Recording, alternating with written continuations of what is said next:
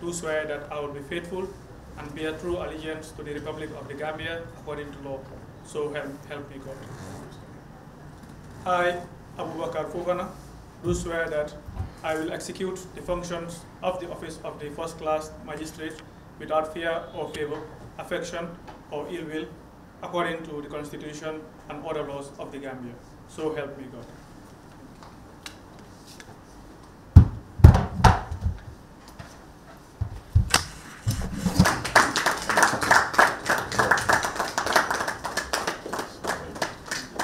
of the Gambia according to law. So help me God. I, Michelle Mendy, do swear that I will execute the functions of the office of the first class magistrate without fear or favor, affection or ill will, according to the Constitution and other laws of the Gambia. So help me God.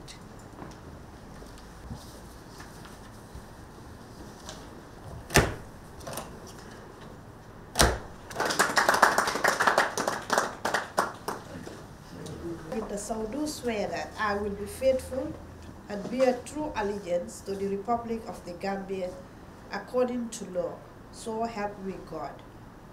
I, Binta Sow, do swear that I will execute the functions of the office of the first class magistrate without fear or favor, affection or ill will, according to the Constitution and other laws of the Gambia. So help me God.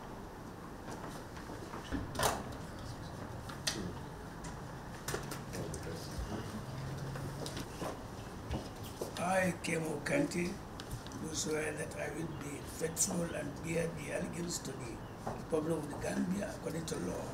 So help me God.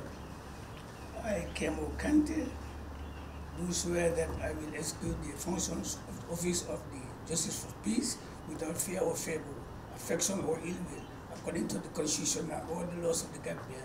So help me God.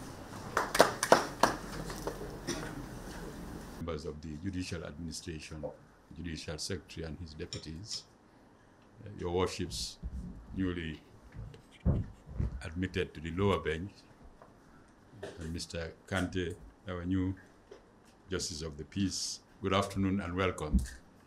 Uh, I'll begin by congratulating your worships first on your appointment to the magistracy as first-class magistrates and also Mr. Kante on his appointment as a Justice of the Peace. All of you have, of course, been selected to these very high positions within the judicature following a rigorous process uh, of, of, of examination and evaluation.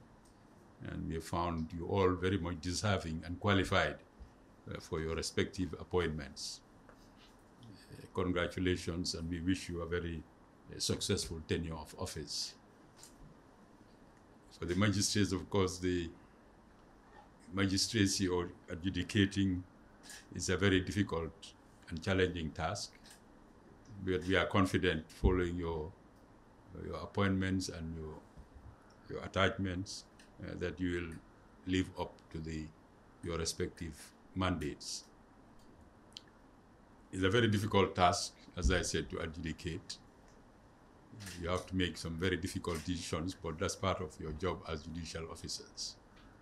And what is important in this respect is for you to have a reasonable knowledge of the law, which we are confident you have, and that's why you've been selected. But don't rest on your laurels, as they say. You have to continue keeping abreast of the law uh, in order to be able to perform your, your tasks uh, competently it's important that you are diligent at your work as well, because the workload will be heavy. It is and it will continue to be heavy. You'll have many, many cases to deal with. Uh, punctuality, di- diligence, and attendance to your work is very, very important. Uh, try to avoid delays uh, in the hearing and determination of the cases that, that are before you. For as they say, justice delayed is justice denied and justice is sweetest when it is freshest, as they say. The earlier you do your case and finish with it, the better for yourself and for the parties and for the whole system of governance and, and the rule of law in the country. Uh, avoid delays in the execution of your, of your, your duties. Do not be complicit in the, the constant, constant request by parties and counsel for adjournments of their cases. Adjournments have to be justified. Adjournments have to be justified, and if they are not justified, you should proceed with your case. So, knowledge of the law, competence we believe you have, diligence at your work, be at work on time, do your task uh, as you should, but above all, above all, be honest in the execution of your duties. Uh, you, we, are, we, we, we have every confidence about your integrity, and you should maintain that level of integrity that you have at the moment. Honesty and integrity is really the most important characteristic uh, of every judicial officer. Every person, but more so of a judicial officer who is called upon to decide disputes between party, between people. You must do so justly and fairly, uh, and honestly, and reasonably quickly. And, and we, we hope, we are confident that you'll be, do, you'll be able to do that. Those are three important things you need to pay attention to uh, throughout your career. Continue to be studious in your search for knowledge of the law, be diligent in the execution of your duties, and execute your duties with the highest standards of professionalism, honesty, and, and, and integrity. Uh, and, and then, if you do so, because uh, you'll earn the respect of, the, of litigants and community, even litigants who have lost their cases. If they know that they, you've done so fairly and honestly, they come to respect you, and the community comes to respect you. And that respect has its rewards. Uh, your appointments today and your, your swearing in is part of the process uh, in the judiciary for strengthening the capacity of, of our courts.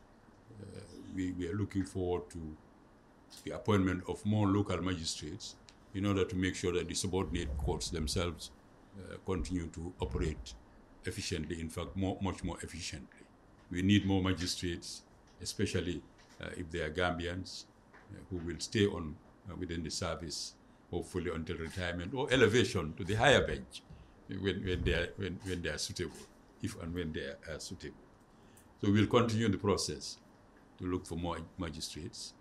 Uh, as you are aware, the, His Excellency the President has recently appointed uh, through three uh, Gambians to the High Court as judges. Uh, the process there will also continue to strengthen the, the capacity of the High Court. Uh, we are expecting very shortly, by next week, an additional judge from Nigeria on technical assistance for the High Court. And so we will hopefully start the term next week with four new judges for the High Court. That should make a considerable difference uh, in, in, in the administration of justice. It will only do so, of course, not because of the numbers, but if people apply themselves to, to their tasks and they do so uh, honestly and, and, and fairly uh, and diligently. Beyond the numbers, of course, there are other measures that we are also working on to improve the processes in the courts. The rules of the High Court are under revision at the moment, and we, we expect that by the, by the legal year in January, we may have a new set of rules practice and procedure for the High Court, which are designed to expedite uh, the process of trials. Uh, we're looking at other processes as well. We expect to have a new e-case manage management system in place at about the same time early next year, and also to have a, a, a modern electronic system for recording and transcription of court proceedings, uh, which, which, will initially be piloted in the High Court uh, with one, one magistrate's court as well, but which we expect uh, to spread out throughout the judicial system.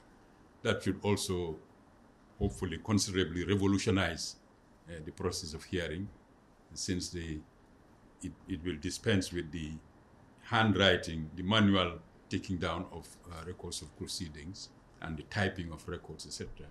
All that should make a considerable difference, and we look forward to those two projects uh, coming to fruition. Welcome once more to the to the bench. We thank you for accepting uh, these tasks, uh, these appointments, and we wish you a successful tenure. As we also wish Mr. Kante a successful tenure as a Commissioner for Oaths uh, at the local community level, assisting with the legal needs of the community. Thank you very much. Of the media present, we would like to extend a warm welcome and express our gratitude to each and every one of you. I am honored to stand before you today with a deep sense of privilege and humility. On behalf of my colleagues, I express our profound gratitude as we gather to witness the swearing-in ceremony of myself and my colleagues, fellow colleagues, as first-class magistrates of the Republic of the Gambia. We would like to extend our deepest gratitude to the judiciary of the Gambia, the Judicial Service Commission, and the government of the Gambia for entrusting us with this significant responsibility. With a solid foundation in law, a commitment to justice, and a dedication to uphold the rule of law, we are confident that we will ensure that due process is followed. We pledge to make well-informed decisions based on the law and the evidence presented in the courts. Furthermore, we are committed to making a positive impact in the judiciary by utilizing our motivation, dedication, and skills acquired from our experience in private practice. We are eager to contribute significantly to the legal system and uphold the principle of justice.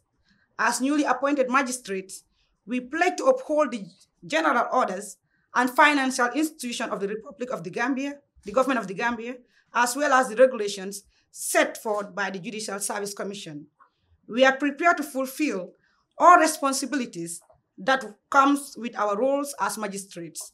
Our commitment to adhering to the Judges Supplementary Code of Conduct and the Code of Conduct for Legal Practitioners Act 2011 is unwavering. We are committed to approaching every task with diligence and precision, ensuring that no hint of negligence is ever displayed. Our goal is to have a significant impact on the judiciary by collaborating, by collaborating closely with our colleagues and support staff to improve case management in our courts. The achievement of the judiciary objectives is our top priority, and we are dedicated to upholding the principle of the rule of law. As magistrates, we recognize the immense ethical responsibilities that come with our role.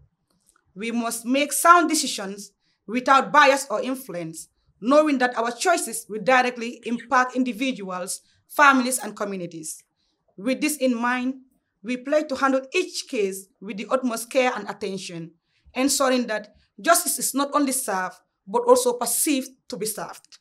However, we are aware of the judiciary strategy plan for 2021 to 2025, and we are fully dedicated to collaborating closely with the judiciary to ensure the successful achievement of the eight goals outlined in the plans are accomplished. We recognize the judiciary's vision and mission, which strive to establish an independent, effective, and efficient justice system and upholds the rule of law, ensuring fair, impartial, and timely delivery of quality justice through a competent and dedicated staff. Therefore, we are fully committed to supporting the judicial administration in reaching these goals. In any case, we acknowledge that there is always more to learn, and we, are and we remain open to new knowledge. While we are aware of the challenges that lie ahead, we are prepared and dedicated to upholding justice. Mm. Our courts are institutions of justice, law, and equity, and we are committed to delivering fair outcomes despite any obstacles we may face.